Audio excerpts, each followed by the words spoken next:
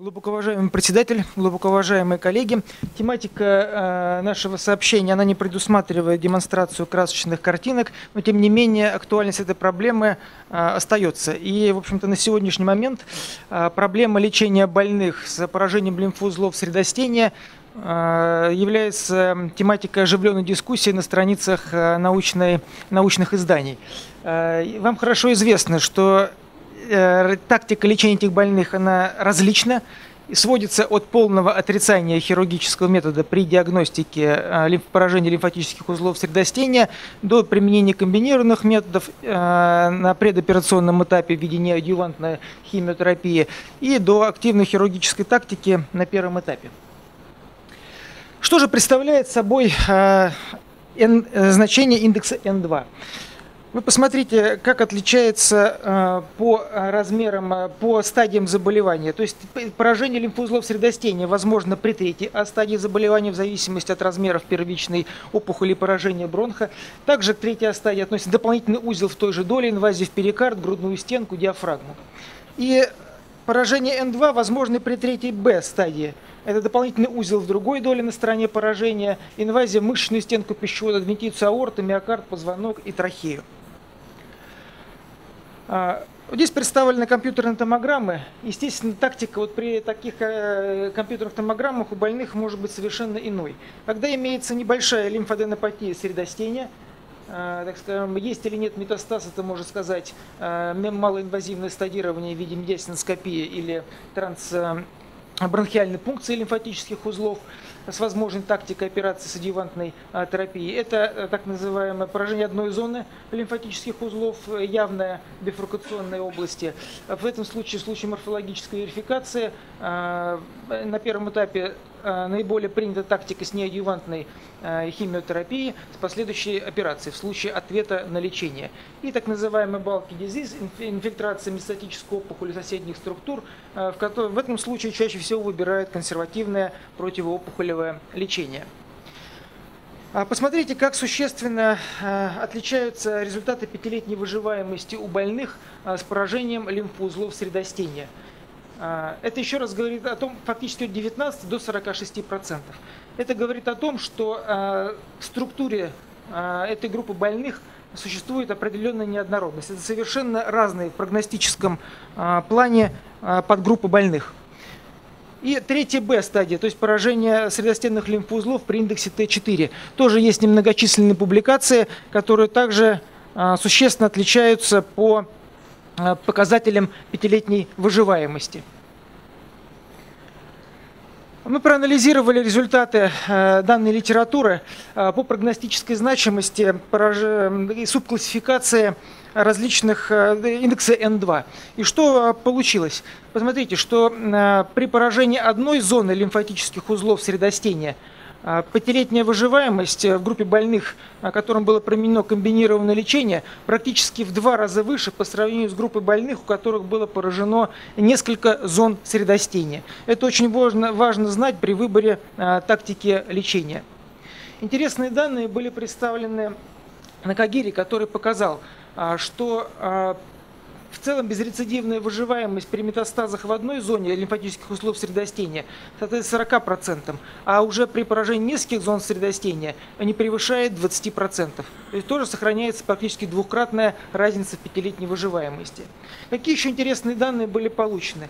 Так, например, при а, отсутствии метастазов в наивысших лимфатических узлах средостения пятилетняя выживаемость составила э, более 50%, в то время как при наличии метастазов э, в наивысших средостенных лимфатических узлах пятилетняя выживаемость уже оказалась всего 34%. И также, что касается э, прыгающего метастазирования, skip metastasis, при отсутствии метастазов, при наличии прыгающего варианта метастазирования пятилетняя выживаемость оказалась выше, чем при сохранении последовательного этапа метастазирования лимфатических узлов средостения. А, какие еще предложения в литературе возникают по а, разграничению а, индекса N2? Это также важным является прогностическим фактором, по мнению большинства авторов, наличие микроскопического или макроскопического поражения лимфоузлов средостения.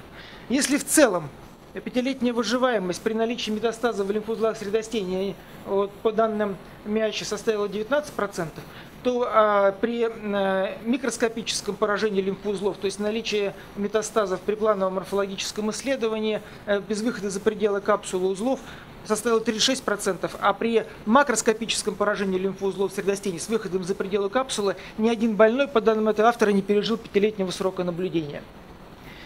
И тоже, на наш взгляд, представляет интересным данные, которые приводит Баба в своей работе 2012 года, а, где было показано в зависимости от э, поражения зон средостения. Ближайшие к области поражения э, лимфатические узлы э, средостения, ну, ближайшие, я имею в виду, к поражению доли, являются более благоприятным прогностическим фактором по сравнению с группой больных, у которых имеется поражение более дальних Э, групп лимфатических узлов. Так, например, это, например, можно привести на примере при локализации опухоли в нижней доле, если имеется поражение параэзофагиальных и бифурка... только поражение параэзофагиальных или бифуркационных лимфатических узлов, э, то пятилетняя выживаемость будет существенно выше по сравнению, если у этого же больного будут поражены паратрахеальные лимфатические узлы, то есть более э, дальняя следующая за бифуркацией зона метастазирования.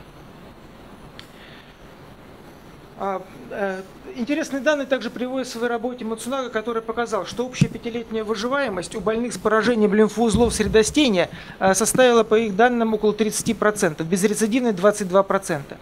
А при поражении лимфоузлов э, верхнего средостения 27,9% и нижних, лимфоузлов нижнего средостения 11%, что является также бесспорным важным прогностическим фактором. И поэтому в своей работе авторы подразделили, предложили подразделять поражение лимфатических узлов на N2А, когда имеются метастазы в узлах средостения, ближайшие к пораженной доле, и э, N2B, то есть метастазы в лимфоузлах средостения, расположенных, э, следующий, следующий этап метастазирования, расположенных более дальней анатомической зоне. Еще раз на примере это касается э, локализации в нижних долях. И они получили при этом при стратификации по группам получили следующие данные, что при поражении ближайшей зоны лимфатических узлов средостения пятилетняя выживаемость составила 30%, в то время как при поражении дальних зон средостения ни один больной не пережил пятилетнего срока наблюдения.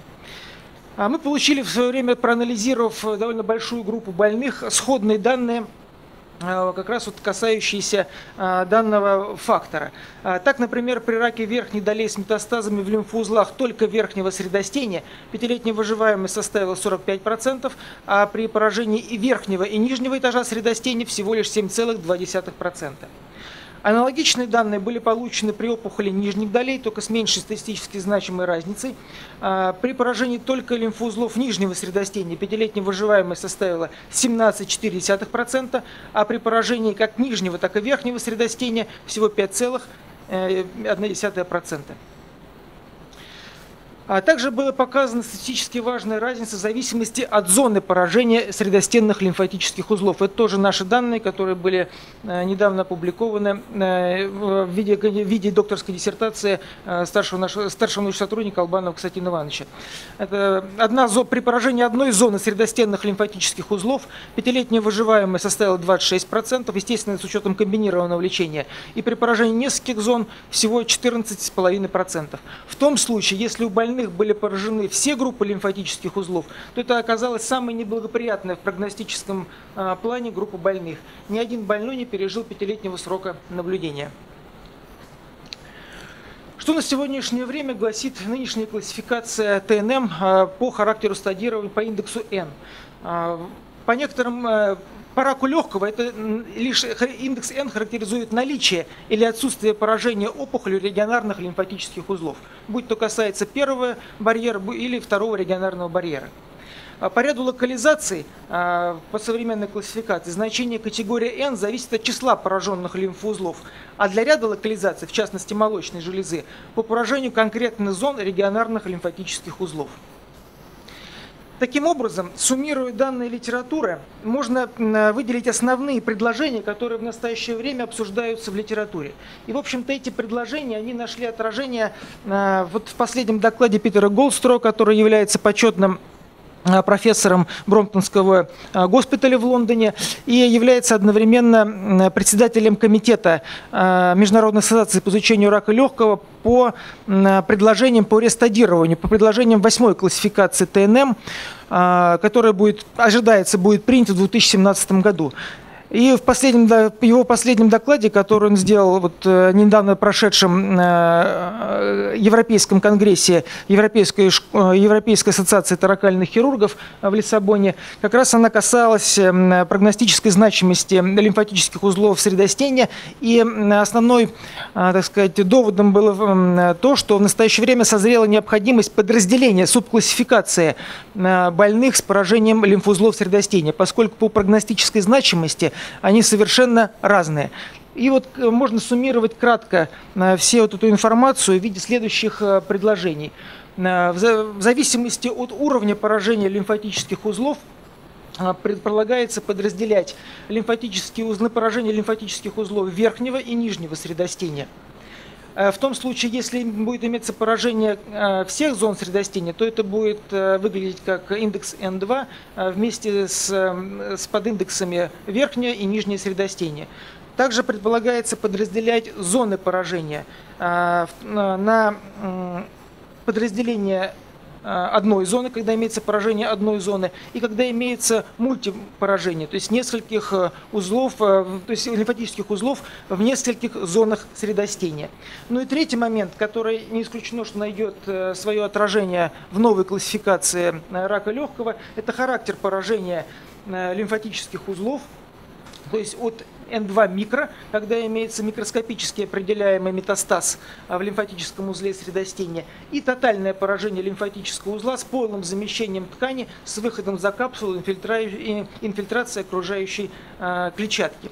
И Питер Гостров в своем докладе подчеркнул, что да, указанные предложения, они пока носят а, характер, а, выносятся как бы на обсуждение, но учитывая громадный статистический материал, который обрабатывается этим комитетом, это более 70 тысяч наблюдений больных радикально оперированных по поводу рака легкого, вполне вероятно, что уже в восьмой классификации а, по системе ТНМ часть из этих предложений будет официально включено в стадирование по индексу N. Таким образом, в заключение мне хотелось бы сказать, что э, сама группа больных э, с наличием метастаза в лимфоузлах средостения является крайне неоднородной, существенно отличающейся по пятилетней выживаемости. И э, естественно, что требует своей подклассификации, что, по всей видимости, повлияет и на выбор лечебной тактики в отношении этой категории больных. Спасибо за внимание. Спасибо за доклад. Скажите, какие вопросы будут у присутствующих коллег Валентиновичу? Да, Николай Федорович.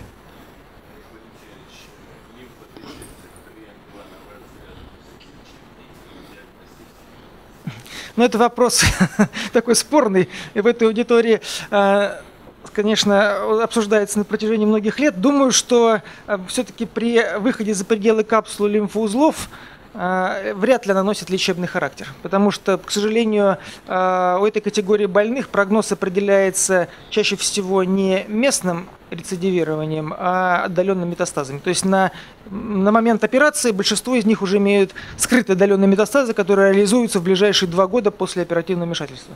Спасибо. Есть ли еще вопросы, пожалуйста? Первый задал вопрос доктор.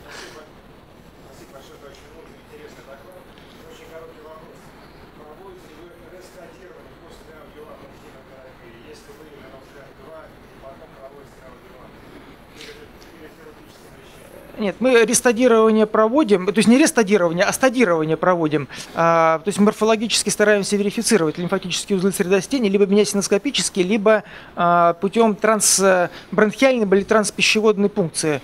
А, рестадирование после проведения неадъювантной химиотерапии не проводим. Спасибо. То есть повторными, повторными диастиноскопией не выполняем. Вы ответили на вопрос. Спасибо. Пожалуйста.